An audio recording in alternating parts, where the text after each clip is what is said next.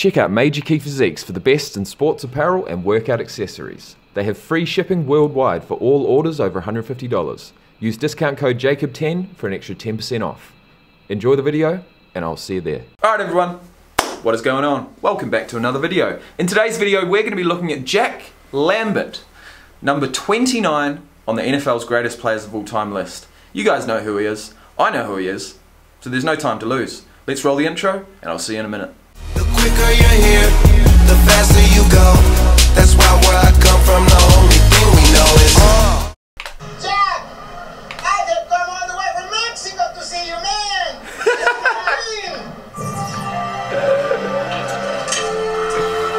Ah, Jack Lambert. Gotta love it.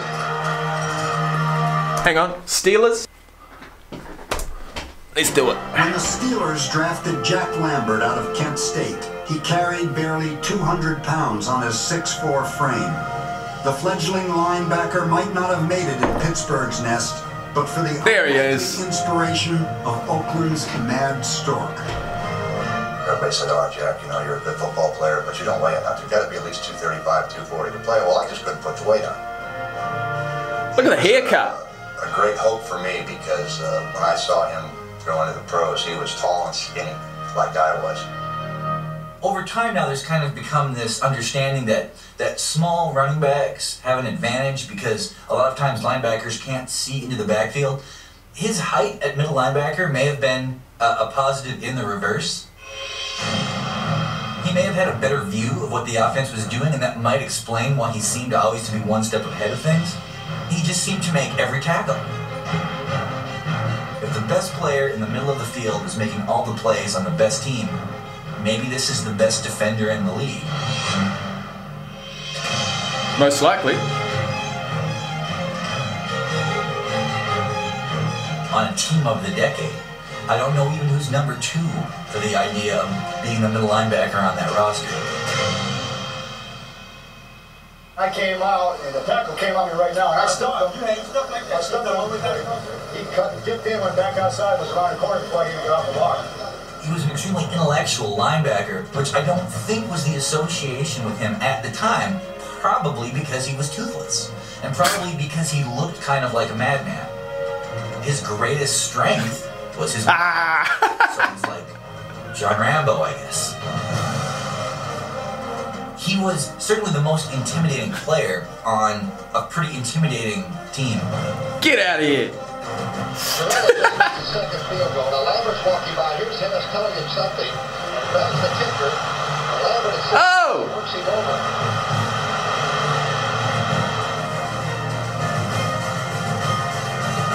Yeah, Lambert. Get in there. he doesn't even know what happened. Ah, that guy doesn't even know what happened.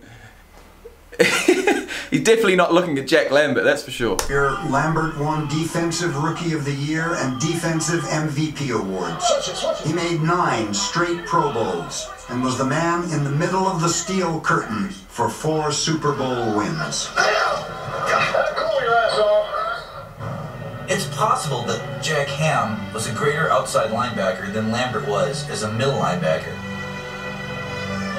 They look like the same guy. But I don't imagine opponents fearing Jack Ham the way they would fear Lambert. Pretty much every play, the quarterback was staring directly at Lambert, who had not only this very scary appearance, but this incredibly active appearance. I made the comment earlier that we should put dresses on quarterbacks. Got a lot of play out of that one, you know. But I meant it. Quarterbacks couldn't skirt past Lambert, who became a frequent visitor to opposing backfields and a permanent fixture in Steelers lore. Pittsburgh loves He did- to sort fuck, he did well to catch that ball, I must say. Having a certain kind of toughness, having a certain kind of team.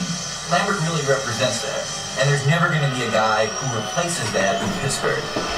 He will always be perceived as the greatest personification of what Steeler football is supposed to be like.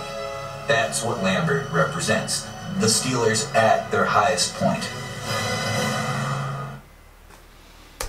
Lambert. Good old Jack Lambert. What an absolute legend. I know Jack Lambert. We all know Jack Lambert. I certainly do now. That was Jack Lambert, number 29 on the NFL's top 100 greatest players of all time list. I hope you've enjoyed. If you have, you know what to do. Hit the like button if you want to subscribe and stick around until we get to number one. Please do. And I'll see you in the next one. Peace out.